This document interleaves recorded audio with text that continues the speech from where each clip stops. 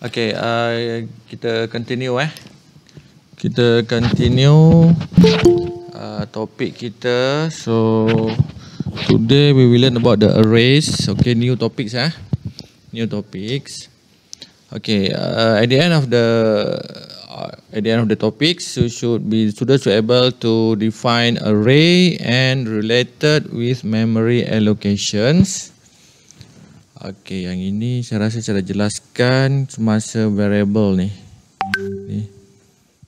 And then explain how to access array and uh, to initialize, to input an elements, to process, and then to output the results. Okay.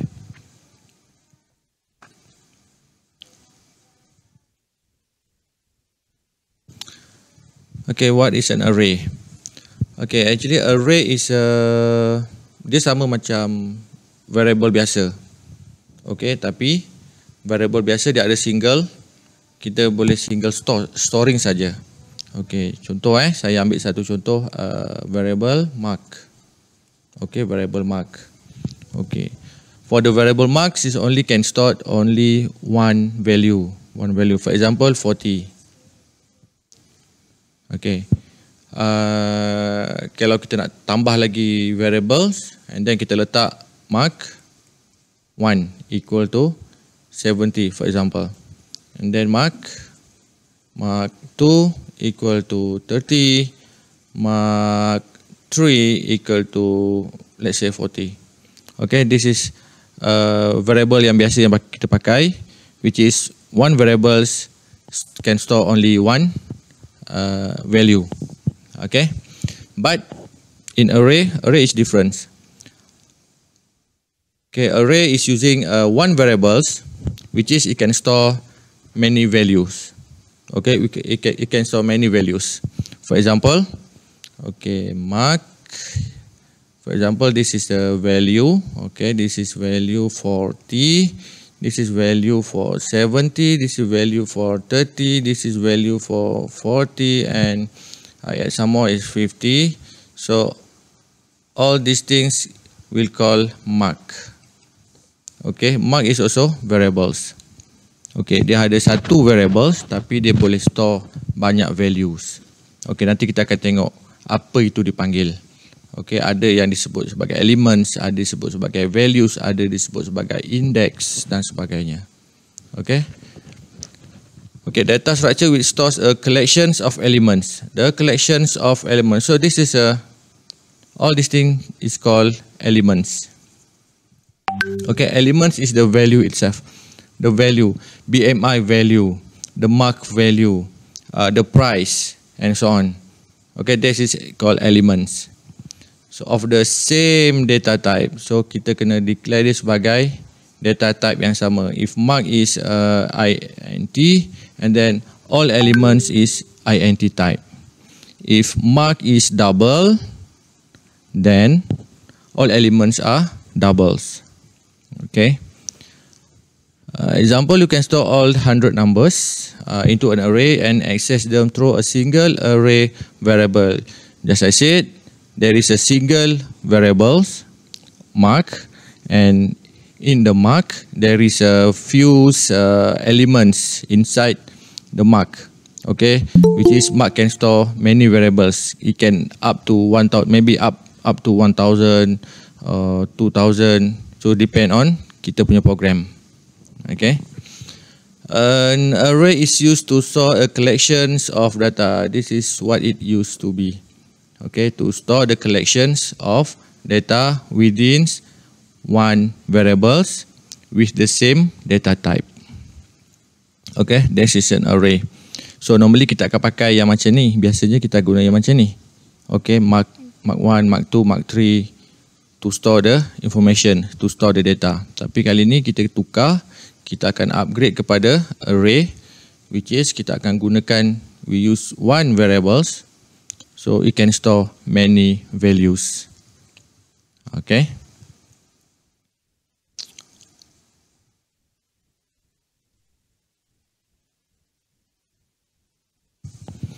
Okay, this is an examples, another examples of the array of an arrays. Okay, so this one is variables. Okay, variables, and all these things. Okay, this is called elements. Okay, this is called elements. Okay, uh, if we take a look at the edges, edges. Okay, in the edges, they store 41, they store 37, 56, 28 and 42. Okay, semua ni adalah int.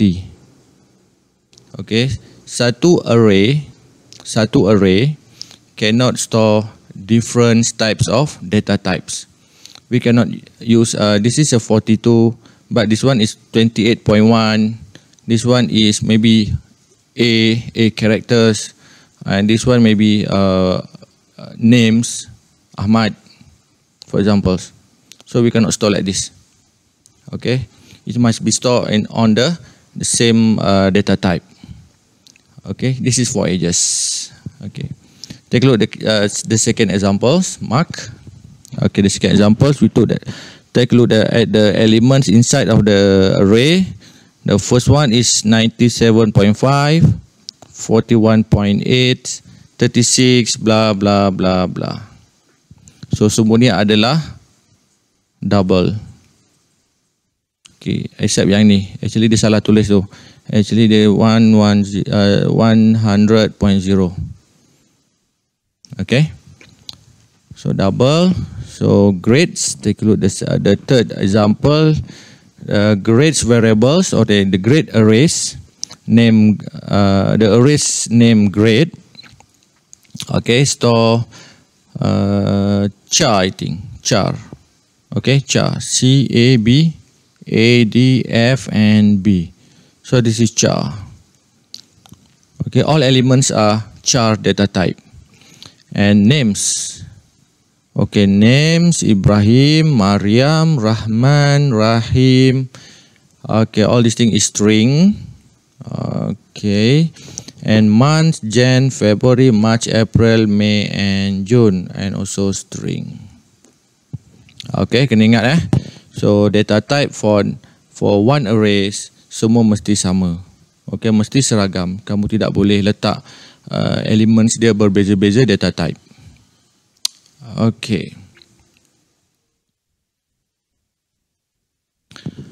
Okay, dalam uh, arrays, there is a structures of an arrays. Okay, uh, dalam array ni dia ada the names of a structures of an arrays. So, kamu kena faham betul-betul lah. Kena fahamkan betul-betul. Okay, the first one is array names. Array name is the variables. Is refer to variables. Okay, so in this example, in this examples, there is a mark and the mark contains 97, 41, 36 and so on. Okay, there is a double elements. Okay, the data type for this element is a double. Okay, so all element is a double. There is a decimal numbers inside the inside an array. Okay, this is array name. Array name is a mark. Okay, rename is a mark. And then index. What is an index? Okay, so yang ni carefully. Kena tengok betul-betul index. Index is always, index is a numbers. Okay, index is numbers. It's always start from zero. Okay, this is index. Index tidak tidak tidak ditunjukkan di dalam rajah ni, tapi kita kena buat sendirilah. Okay, index is the numbers start with zero, one, two, three, four, five, six. That's its index. Okay. Sequence of number start with zero. Okay, that's its index. Zero, one, two, three, four, five, six. And then dia ada tulis di sini.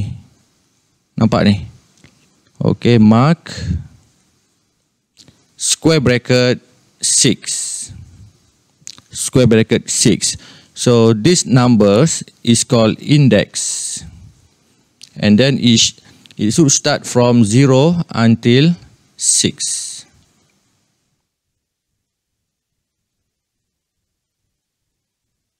Okay, and then uh, the third one is the elements or the value.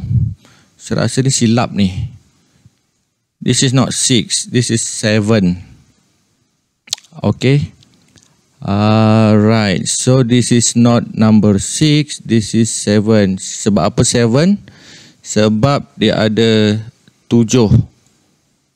7 elements, 7 elements inside the array. 1, 2, 3, 4, 5, 6, 7. Yeah, 7. But the index is minus 1 actually. Okay, the, the first element, for example, uh, the, okay, kita pergi pada element dulu. Eh. Alright, elements. So, elements is the value. Is the value or is a data. Element is a data. Okay, in this example, we have a 97.5, 41.8, 36.5 and so on all these called elements. Okay. Baik, what is the relationship between elements and index? Tengok. Alright, the the first elements, the first elements is located on index 0. Kau kena biasakan buat macam tu. Because nanti bila dalam programming, kamu akan gunakan uh, looping, okay, gunakan looping which is looping numbers is a index. Uh, loop number is an index. Start from zero. Okay. Okay, contoh lagi. Uh, let's say the third elements. Okay, third elements. This is the first element, second element, third elements. Okay, third element contain 36.5 which is at index number 2.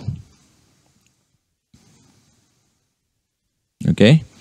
And then kita cari lagi uh, let's say question nak tanya uh, which which is elements the fourth uh, sorry bukan fourth fifth elements contoh fifth elements.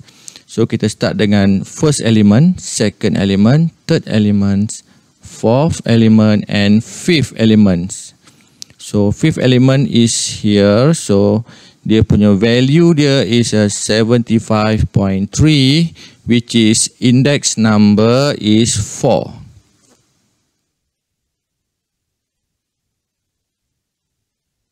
Okay, ada soalan nak tanya elements and index any questions Ya, ada sir. Tak ada sir. No. Wah hebat eh. Faham semua? Okey, bagus bagus. Tapi, Faham sir. Ha, tapi bila buat kerja semua salah. Ha, tak apa tak apa tak apa tak apa. Ha, okay, tak apa. Okay, now going to the next structure. Uh, this now one, two, three, four, five. Okay, number four. Array length or size.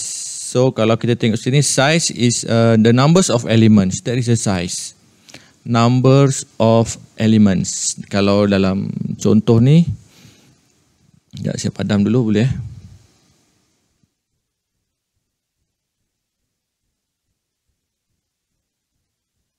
Okey, contoh ini dalam contoh yang saya bagi ni the numbers of elements kita nak kira start from number 1 2 3 4 5 6 7. So ada 7 elements in this array which is of course index dia minus 1 6. Okey, index kena ingat start from 0. Okey, index ni penting eh. Index ni fungsi dia adalah untuk kamu access elemen tu nanti. Ha, nanti kita akan uh, buatlah guna looping. Okey, let's say index 2 dia akan access what elements, index 3 what elements. Okey. So fungsi dia fungsi dia ialah untuk fetch, fetch the elements, fetch the data. Okey, Array array length or array size, array size is the numbers of elements, is the number of elements. So dalam dalam contoh ni ada 7. This is array size. And then the data type for this array is a double. Okay, so saya harap kamu faham lah what is array names, which one is array names, which one is a index, which one is the elements. So kena differentiate eh between index and element. Kamu kena faham betul-betul. Kamu kena differentiate between index and elements. And then what is the size of an array and what is a data type. Okay, ada soalan sebelum saya pindah ke lebih detail. A step to create an array. Okay, so dalam dalam uh, dalam pseudocode pseudocode dan flowchart tiada array eh? Tak ada array. So kamu directly to programming. Okay direct to programming. So the first step is you should declare the variable as an array. So tell the compiler that this variable is an array. Okay satu. Yang kedua uh, this variable contains how many elements? The size of array. How many elements the student should uh, the user should uh, store the value? Okay Then the the third one is initialize. Initialize mean uh, kita assignkan the initial initial values for that array. So we call it as a initializer. Okay, nanti kita akan pergi satu-satu ni. Don't worry. Okay, declaring uh, create an array, create an array, kita letak size dia, size dia. Okay, declaring kita letak dia punya uh, data type. Okay, kita letak data type and then criteria kita letak size. Then initialize kita letak value. Okay, for initialize value. Initialize value ataupun kita letak initializer. Okay, initializer. And then process array using index. Okay, index seperti yang saya sebut tadi. As I said, index is used to fetch the data index is used to uh, to locate the elements, to locate the data. Okay, itu penting. Okay, so dalam proses ini kita akan buat bagaimana how to input data into array and output the elements from an array. Okay, selama ni kita buat yang ini kita macam biasa kita guna input statement. Okey, input statement. Yang ini kita guna output statement. Okey, benda biasa juga. Benda biasa cumanya format dia berbeza dalam array. So macam mana kita nak kita nak input how we want to input the data if there is a 10 datas. Okay, 10 size of arrays. The first index, second index, third index sampai yang sampailah yang ke-10. Ha, so kita akan guna looping. Semua kita akan guna looping tu. Okay. Okay, declaring array. The syntax for declaring an array variable variables uh, by examples. Okay, so di sini there is a three. Ada berapa cara ni? Ada dua cara.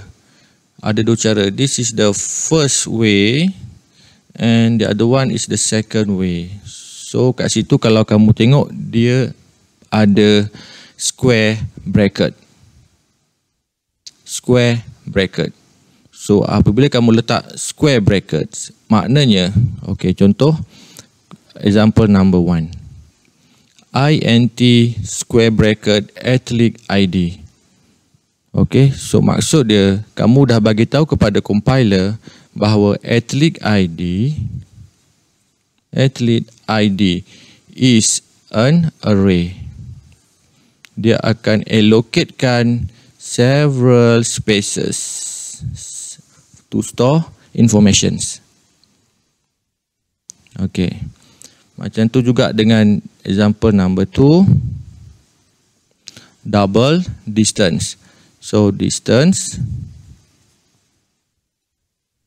Komputer akan allocatekan memory for distance in array format. Dan juga double distance number two, the third example pun sama juga. Okay, so yang ini semua dia akan store value, store value yang akan kita input kemudian nanti. Okay, kita belum kita belum setkan berapa size dia lagi ni, belum setkan lagi berapa size. Okay, itu adalah declaring array. So biasa kita pakai int mark itu saja. Okey. int uh, sorry, double BMI. Okay, tapi kali ini kita pakai double square bracket BMI. Uh, letak square bracket saja. Okay, square bracket kita sudah bagi uh, kita dah bagi instructions to the compiler that yang ini perlu this is an array. Okay, dia perlu uh, compiler akan allocatekan storage untuk variable ini. Okay. Right. Uh, the elements can be any data types. Can be any data type. It can be integer. It can be double. It can be char. It can be boolean. And all elements in the array have same data type. So kita tak boleh nak bercampur. In one data type, in one data type, there is no double, there is no integer, there is no char. Okay. Okay, for example, the above code declares a variable athlete ID that re uh, refer uh, refer an array of integer elements. Okay, all the numbers that store on the athlete ID is a is an integer. Is integer numbers, no decimal numbers, no uh, no string, no char, and so on. Okay. Any question, guys? Oops. Yes, sir. Okay. Sir. Good. Yes. Sir. Yang tadi tu pasal tadi tu. Ah, ni. yang example 2 3 tu apa beza kalau square Ah. apa ni square bracket di depan di belakang. Okay. Uh, yang yang ini, yang ini dia nak tunjukkan kamu cara declaring array. So dia ada tiga cara. Ada banyak cara sebenarnya. Ada dua cara ni. Except yang ni lah. Except yang ni lah. Cara yang pertama, uh, the first way is data type followed by uh, square bracket and followed by variable. This is the first one. And the second one is uh, data type followed by uh, variables and square bracket. So dia ada dua cara kamu boleh buat. Kamu boleh pilih yang mana saja. No worries. Okay sir. Ah, okay. So tak ada di, tak tak ada beza apa pun, tak ada beza apa pun. So yang yang actually yang yang nombor satu ni, yang nombor satu ni, okay. Actually this is for C++ format. C++ format. Ah, Kita boleh guna juga tak ada masalah. This is untuk untuk apa uh, C++ language. Okay, uh, the the first one. Tapi boleh pakai juga. Tak ada masalah. Kalau kamu nak suka nombor satu, then go ahead. Kalau kamu suka nombor tiga, then nombor tiga lah. Okay, so actually yang Java, betul-betul Java is here. This is Java punya syntax. Okay, the first one is for C++ punya syntax. Okay. Okay, good. Okay, Zik. Okay sir. Okay, now we we assign to size. We assign the array into a size. Okay, yang ni kita dah declare. So di, kita kita dah declare uh, the variables that we tell the compiler. So this variables is used for array. Okay. Then the second line is uh, creating array. So creating array is about to assign the size. This one. This is size. This size array. Okay. Ini yang tadi. Okay, this is declaring array yang tadi, yang the page yang pertama tadi. Okay. Declaring array. And then followed by equal, and followed by new, and followed by data type, and followed by size. For this athlete ID, got size 3. So maksud dia, maksud dia, dia ada tiga saja storage di dalam memory which is the address is athlete ID. Baik, kalau kamu nak buat macam ni directly tak ada masalah, boleh. Kalau kamu nak buat dua lines, pastikan int ni tiada. Okay, sebab kita dah declare int di atas tadi. So di bawah tak perlu lagi declare. Okay. So kita directly athlete ID equal to variable names equal to new and followed by uh, size. Okay. So dia ada size ni lah. So once dia ada size and then automatically the compiler will assign the index number. What is the index number? Index number is start from 0, 1 and 2. Okay. So that is the index number. But the size is 3. The element got 3. But the size is 0. Uh, sorry, the index is start from 0 for element, the first element. Okay. 0 for the first element. 1 for the second element. And index 2 for the last elements. Okay, yang inilah nanti kita akan pakai. So, index number yang kita akan gunakan untuk uh, to to to do some searching method, to do some maximum and minimum value, to do some cumulative programs. Ini kita akan guna. Okay. Uh, continue. This statement declare an array variables. Okay, array, this is array variables. Athlete ID creates an array of three elements of int type, integer type. Okay, all uh, all elements are integer type. Okay, so there are tiga elements. So this is size of array. Okay, another examples: double distance one equal to new double three. Also size. This one also size.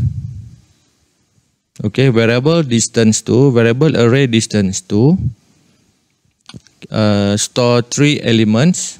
Store uh, size three. There is a size three and store three elements. Okay, and the data type is a double. Okay, boleh? This is line number two. Kita patah balik. This is line number one. Okay. Alright, next. Entering data into arrays. Okay, untuk input data, actually this is input.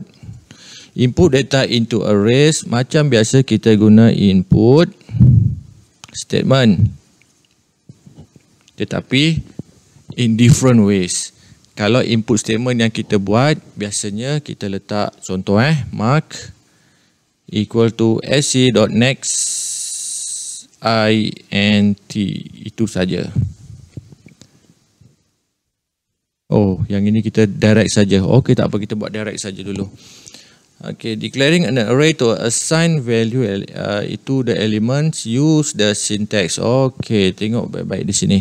So the first line, the first line kalau kamu tengok di sini, this is uh, creating array and declare, declare and create array. Okay, kalau kita tengok sini dia punya variable dia is a athlete ID. So dia punya dia punya data type is an integer and the size of array is 3.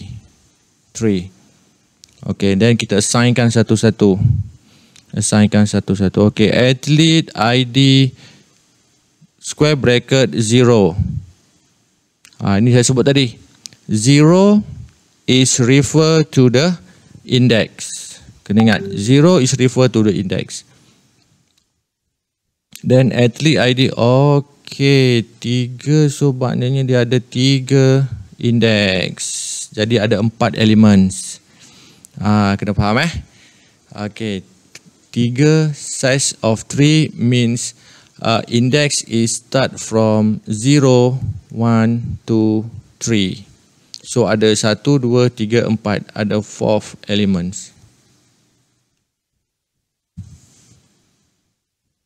Okay. If there is a array that size five, five, that means contoh eh, mark Mark 5 contoh this is Mark 5 so maksud dia di sini dia ada index 0 1 2 3 4 oh no oh, betul lah 4 betul ah, betul lah ni okay And then dia ada index berapa? Dia ada elemen berapa? 1, 2, 3, 4, 5. Ada 5. Eh? Ha, itulah. Aisyah bukannya kalau Patut ada satu lagi kan? Ya satu lagi Yes, yeah, five. This one. Index dia merujuk kepada the last number of index. Elemennya enam lah kan sir Ah, elemen ada enam.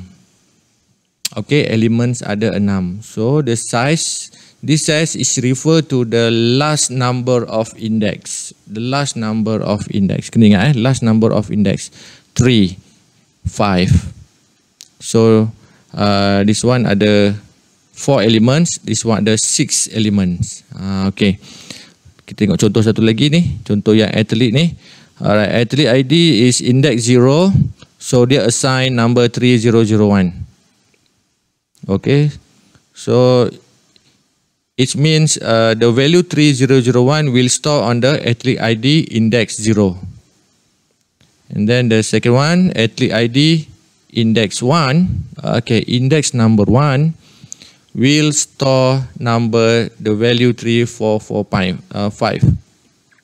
Okay, ID number 2, index number 2 3005 uh, index number 3 will store 3009. Ah, okay. Dapat? Okay, clear eh? Okay, satu cara. Satu cara lagi using initializer. Uh, this one is an initializer. Okay, kita panggil initializer. Yang ini yang saya akan selalu kamu buat ni. So, saya galakkan kamu buat yang macam ni lah. Okay, for initialize the uh, array value. Okay, so dia ada athlete ID. Kita tahu athlete ID dia ada three, uh, three, three in size. Okay, start from zero, one, two, three. So this is index. Okay, index zero is start from here.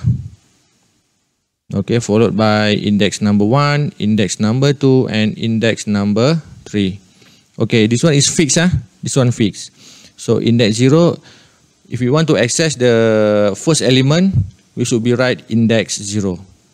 If you want to access the last elements, we should write index uh, number 3.